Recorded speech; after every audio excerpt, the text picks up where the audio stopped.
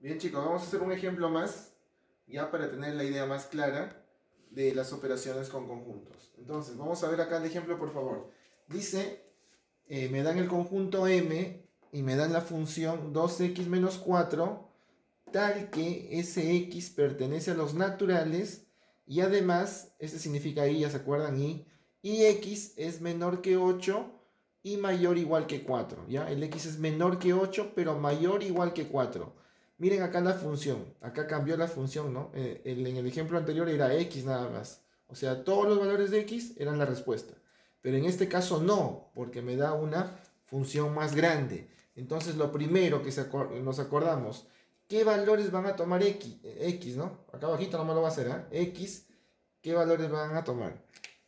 Eh, va a entrar el 4 porque está el signo menor igual, ¿no? Y, y no va a llegar al 8, solamente se va a quedar en el 7. Entonces va a tomar el 4, el X va a tomar el 4, el 5, el 6 y el 7. Del 4 al 7. Ya tengo los valores de X.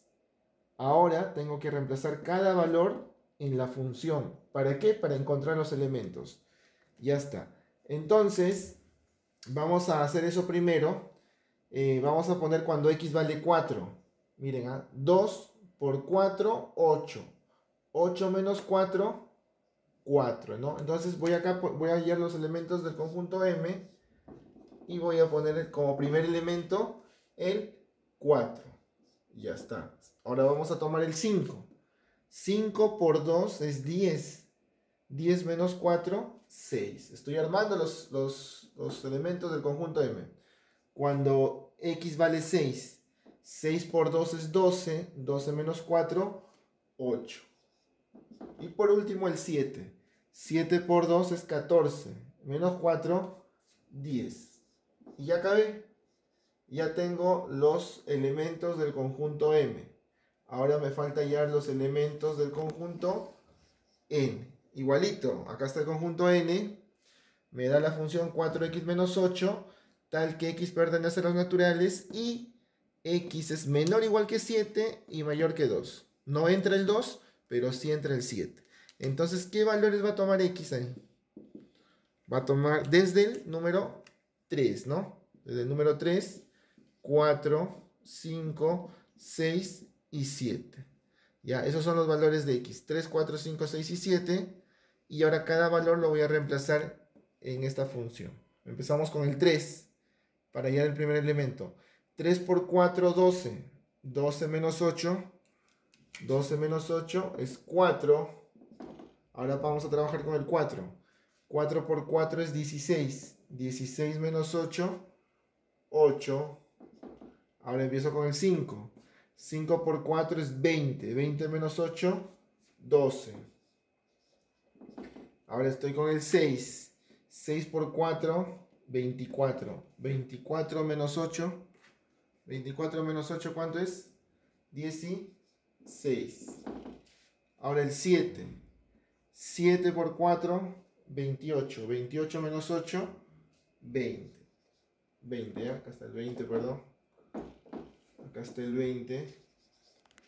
Y ya tengo los elementos del conjunto M y N. ¿Ya? Entonces acá en los ejercicios me piden hallar m intersección n, me pide hallar, me pide hallar n menos m y me pide hallar m diferencia simétrica con n. ¿Ya? La unión no me pide porque ya saben que la unión va a ser la suma de todos los elementos, ¿no? De todos los elementos. Entonces vamos a poner por acá el conjunto m, vamos a ponerlo con rojito, conjunto m, conjunto n, y vamos a hallar primero M unión N, M intersección N, perdón. M intersección con N. Eso es lo primero que vamos a trabajar. M intersección N. Ya les habíamos dicho anteriormente que la intersección es lo que se repite en ambos conjuntos, los elementos que se repiten en ambos conjuntos. Vamos a buscarlo por acá. Acá empieza en 4, buscamos un 4 abajo, acá está el 4, ¿no? Se repite el 4, se repite el 4. Vamos a seguir con el 6. ¿El 6 se repite acá? No. ¿El 8 se repite acá? Sí, el 8 y el 8. El 10 no se repite, ya no se repite nada. Entonces, lo que se repite en ambos conjuntos es el elemento 4 y el elemento 8. El resto lo puedo completar para, ¿no? para tener la idea de los conjuntos. Acá está el número 6 que falta y el 10. Y por acá está el 12, el 16 y el 20. El 20. Y ya saben que la intersección, como les dije, es lo que se repite. Vamos a pintar lo que se está repitiendo en ambos conjuntos. Es esto de acá, lo del centro, ¿no? Entonces el nuevo conjunto formado por M intersección N va a ser igual al 4 y al 8 como elemento. Esa es la respuesta, ¿no? De la intersección. En la B me pide hallar n menos m. n menos m. Entonces, ubico mi conjunto m normal por acá. Ubico mi conjunto m y por acá está el conjunto n. Copio los elementos, como es el mismo ejemplo, copio los, elementos de los conjuntos ahí. 4 y por acá está el 8, el 12, el 16 y el 20. Ya está. Me pide, ojo, n menos m. A todo lo de n le voy a quitar todo lo de m. ¿Ya? Entonces me va a quedar como respuesta, ¿qué cosa?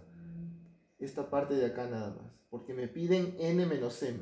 Si hubiera sido al revés, m menos n, la respuesta sería esto de acá nada más. ¿Ya? Pero tengo que fijarme bien en lo que me piden. Y eso es lo siguiente n, todo lo de n, y le voy a quitar lo de m. Ahí está.